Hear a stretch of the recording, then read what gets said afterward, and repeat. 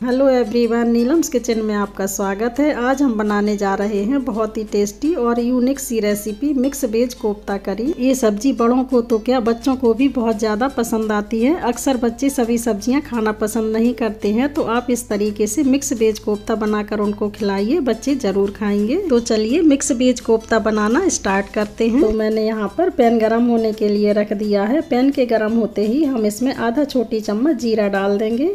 आधा छोटी चम्मच सौंफ डाल देंगे, एक छोटी चम्मच साबुत धनिया के बीज डाल देंगे, एक बड़ी इलायची और दो हरी इलायची डाल देंगे। आधा छोटी चम्मच काली मिर्च डाल देंगे, दो लौंग डाल देंगे, दो साबुत लाल मिर्च डाल देंगे। इन सभी चीज़ों को लो टू मीडियम फ्लेम पर हल्का सा कलर चेंज होने तक ड्राई रोस्ट करेंगे।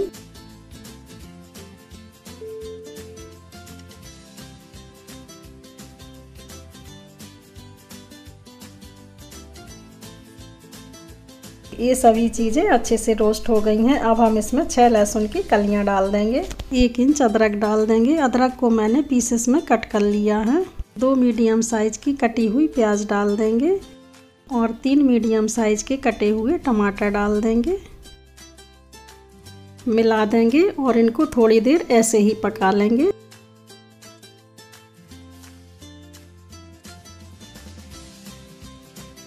अब हम इसमें एक कप पानी डाल देंगे ताकि ये जो टमाटर और प्याज है अच्छे से पक जाएँ।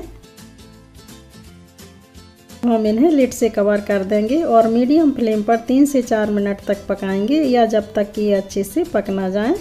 जब तक ये पक रहे हैं, तब तक हम कोफ्ता बनाने की तैयारी कर लेते हैं। इसके लिए मैं यहाँ पर ले रही हूँ एक मिक्सिंग बाउल और ये मैंने एक कटोरी बारीक कटा हुआ पत्ता गोभी लिया है। इसे हम बाउल में डाल देंगे। एक मीडियम साइज़ की बारीक कटी हुई प्याज डाल देंगे।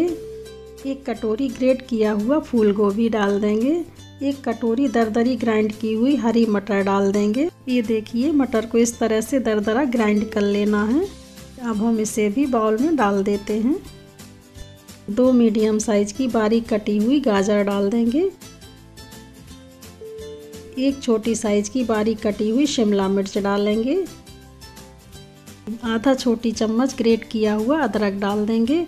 आधा कटोरी बारीक कटा हुआ हरा धनिया डालेंगे। और ये मैंने यहाँ पर एक मीडियम साइज़ का उबला हुआ आलू लिया था और आलू को ग्रेट करके इसमें डाल दिया है। फ्रेंड्स, यहाँ पर मेरा कैमरा ऑफ़ हो गया था तो मैं आपको आलू डालते हुए दिखा नहीं पाई। तो आप इसमें एक उबला हुआ आलू ग्रेट करके डाल दीजिएगा। अब हम इसमें टेस्ट के अकॉर्डिंग नमक डाल देंगे। एक चौथाई छोटी चम्मच लाल मिर्च पाउडर डाल देंगे। एक चौथाई छोटी चम्मच गरम मसाला। एक छोटी चम्मच कसूरी मेथी डालेंगे। मेथी को इस तरह से क्रश करके डालेंगे। इससे कोफ्ता में बहुत बढ़िया फ्लेवर आता है। बाइंडिंग के लिए हम इसमें तीन छोटी चम्मच बेसन डालेंगे। एक छोटी चम्मच कॉर्न फ्लोर डाल देंगे और इसे अच्छे से मिक्स कर लेंगे। अभी हमने इसमें तीन चम्मच बेसन डाला है। अगर ज़रूरत लगेगी तो हम इसमें एक चम्मच बेसन और डाल देंगे। अभी मुझे इसमें बेसन कम लग रहा है तो मैं एक चम्मच बेसन और डाल दे रही हूँ। मिक्स कर देंगे। बस यहाँ पर इस बात का ध्यान रखना है कि हम जो भी सब्ज़ियाँ इसमें इस्तेमाल कर रहे हैं, उनको एकदम बारीक काटना है और सब्जियों में बिल्कुल भी पानी नहीं होना चाहिए। अगर आपके पास इस तरह का चॉपर है तो आप इससे सब्जियों को बारीक चॉप कर लीजिए। इससे सब्ज़ियाँ बहुत बारीक चॉप हो जाती हैं। मैंने भी इसी चॉपर से सारी सब्जियों को चॉप किया है। तो ये अच्छे से मिक्स हो गया है। अब हम इससे राउंड कोफ्ता बॉल्स बनाएँगे। मिक्सचर को इस तरह से हाथ में लेकर नींबू की साइज़ की बॉल बनाएँगे। ये देखिए, इस तरह से हमें बॉल बना लेना है। दोनों हथेलियों के बीच में बॉल को रखेंगे और इस तरह से प्रेस करेंगे ताकि ये जो बॉल्स का मिक्सचर है, ये टाइटली चिपक जाए। इसी तरह से सारे मिक्सचर की हम बॉल बना लेंगे। तो ये देखिए, मैंने ये बॉल्स बनाकर रेडी कर ली हैं। मैंने यहाँ पर ये सूखी मैदा ली है और ये जो बॉल्स हैं, इन्हें मैं मैदा में डालकर रोल करूँगी। तो आप इस तरह से बॉल को मैदे में लपेट लीजिए। इसके बाद हाथ से इस तरह से रोल कर लीजिए। इससे क्या होगा कि जब हम बॉल्स को फ्राई करेंगे तो ये बॉल्स फटेंगे नहीं और इनके ऊपर अच्छा सा कलर आ जाएगा। आप इस तरह से बॉल को मैदे में लपेट कर रोल कर लीजिए। अब मैं इसे प्लेट में रख देती हूँ और इसी प्रोसेस से सारे बॉल्स को मैदे में लपेट कर तैयार कर लेती हूँ। तो ये मैंने यहाँ पर सारे बॉल्स रेडी कर लिए हैं। अब बढ़ते हैं अगले प्रोसेस की ओर। और ये यहाँ पर हमारे प्याज, टमाटर भी अच्छे से पक गए हैं। हमने जो इसमें लहसुन और अदरक डाला है, इससे बहुत बढ़िया खुशबू आ रही है और अदरक, लहसुन भी अच्छे से पक गए हैं। अब हम यहाँ पर गैस की फ्लेम को ऑफ़ कर देंगे और इन्हें ठंडा होने के लिए छोड़ देंगे। जब ये अच्छे से ठंडा हो जाएगा, तब हम इसका फाइन पेस्ट बना लेंगे। जब तक ये ठंडा हो रहा है, तब तक हम ये कोफ्ता फ्राई कर लेते हैं। मैं इसे साइड में रख देती हूँ और कढ़ाई में तेल डालकर गर्म होने के लिए रख देती हूँ। तो मैंने यहाँ पर कढ़ाई में तेल गर्म होने के लिए रख दिया है। तेल हमारा अच्छा गर्म हो गया है। इन्हें फ्राई करने के लिए हमें तेल मीडियम गर्म चाहिए। अब हम इस तरह से एक एक करके बॉल तेल में डाल देंगे। एक बार में जितने बॉल्स कढ़ाई में आ जाएँगे, उतने बॉल्स हम तेल में डाल देंगे और बाकी के बॉल्स हम सेकेंड बैच में फ्राई कर लेंगे और इन्हें मीडियम फ्लेम पर गोल्डन ब्राउन होने तक फ्राई करना है। बॉल्स के ऊपर इस तरह से हम गरम तेल डाल देंगे ताकि जब हम बॉल्स को पलटे तो ये फटे नहीं।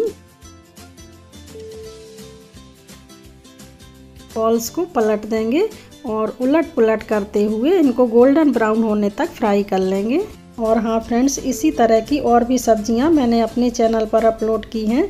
पनीर कोफ्ता की रेसिपी भी मैंने शेयर की है। अगर आपने उनको नहीं देखा है तो आप उनको भी ज़रूर देखिएगा। लिंक मैं डिस्क्रिप्शन बॉक्स में दे दूँगी। आप लिंक पर क्लिक करके उन रेसिपीज़ को ज़रूर देखिएगा। ये देखिए, ये गोल्डन ब्राउन हो गए हैं। अब हम इन्हें प्लेट में निकाल लेते हैं।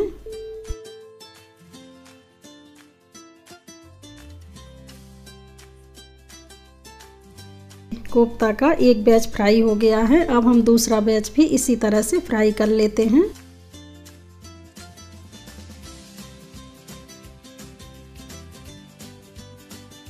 ये दूसरे बैच के कोफ्ता भी फ्राई हो गए हैं। अब हम इन्हें भी उसी प्लेट में रख लेते हैं।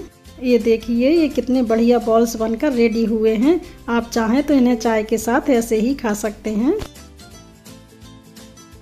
अब मैं इन्हें साइड में रख देती हूँ। एक बॉल में आपको तोड़कर दिखाती हूँ। तो ये देखिए, आप देख सकते हैं कि कितने सॉफ्ट बॉल्स बनकर रेडी हुए हैं। यहाँ पर ये प्याज टमाटर भी पूरी तरीके से ठंडे हो गए हैं। अब हम इन्हें मिक्सर जार में डालकर इसका फाइन पेस्ट बना लेते हैं।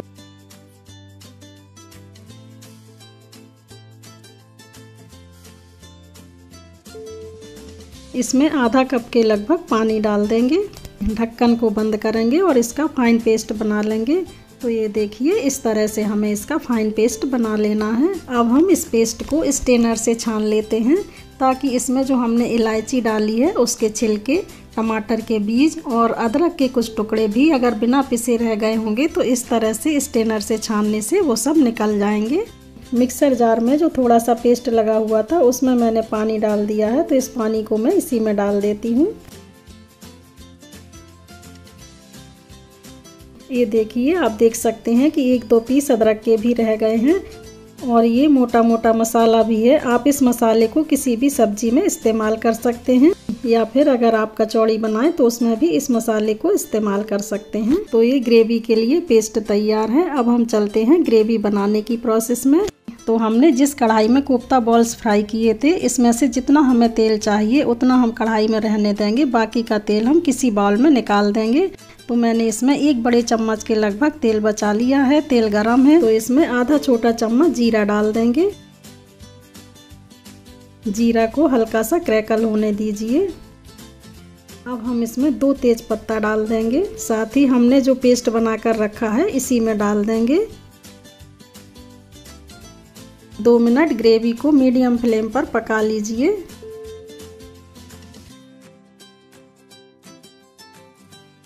तो मैंने ग्रेवी को दो मिनट पका लिया है। अब हम इसमें कुछ मसाले ऐड करेंगे। मसालों में एक छोटा चम्मच धनिया पाउडर डाल देंगे। आधा छोटा चम्मच हल्दी पाउडर डाल देंगे। एक छोटा चम्मच काश्मीरी लाल मिर्च पाउडर। आधा छोटा चम्मच गरम मसाला डाल देंगे। पेस्ट के साथ मसालों को थोड़ी देर भून लेंगे।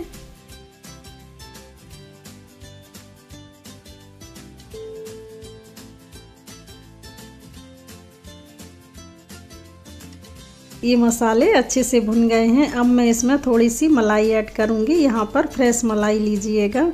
दो छोटी चम्मच मलाई मैं इसमें ऐड करूँगी।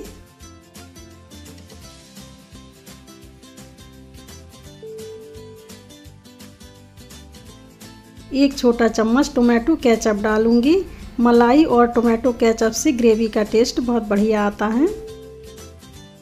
मिला देंगे और ग्रेवी को मीडियम फ्लेम पर तब तक पकाएँगे जब तक ये ग्रेवी हल्की सी थिक ना हो जाए, क्योंकि हमने जो मलाई डाली है, उसे भी हमें पकाना है।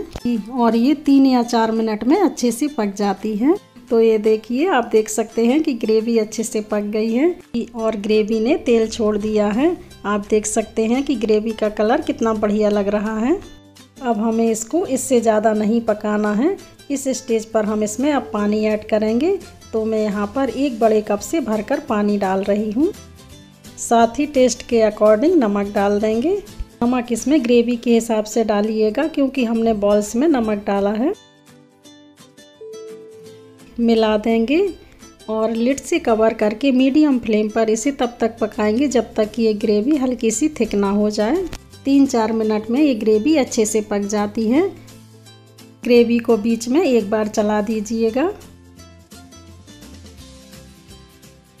ये ग्रेवी अभी पतली है तो वापस से लेट से कवर करके थोड़ी देर हम ग्रेवी को और पकाएँगे। थोड़ी देर मैंने ग्रेवी को पका लिया है तो आप देख सकते हैं कि ये ग्रेवी अब काफ़ी थिक हो गई है और ये अच्छे से पक गई है। ये देखिए, आप देख सकते हैं कि ग्रेवी की कंसिस्टेंसी एकदम परफेक्ट है। ना ही ये ज़्यादा थिक है और ना ही ज़्यादा पतली है। हम जैसे ही कोफ्ता में ग्रेवी को डालते हैं तो हल्की सी ये थिक हो जाती है। अब हम इसमें थोड़ा सा बारीक कटा हुआ हरा धनिया डाल देंगे। इससे ग्रेवी का कलर और भी अच्छा लगने लगता है।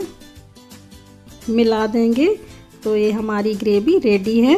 अब यहाँ पर आपको करना क्या है कि जब आपको कोफ्ता करी को सर्व करना हो, तभी इस ग्रेवी में कोफ्ता बॉल्स को डालिएगा। इस तरह से ग्रेवी को बनाकर रख लीजिएगा और जब आपको सर्व करना हो तो ग्रेवी को गर्म कीजिए और गर्म करने के बाद ही कोफ्ता बॉल्स को ऐड कीजिएगा। पहले से कोफ्ता बॉल्स को ग्रेवी में डालकर मत रखिएगा, नहीं तो क्या होगा, कोफ्ता सारा का सारा मॉइस्चर ऑब्जॉर्व कर लेगा और जो ये कोफ्ता की ग्रेवी है, ये बहुत ज़्यादा थिक हो जाएगी और कोफ्ता भी बहुत ज़्यादा फूल जाएगा।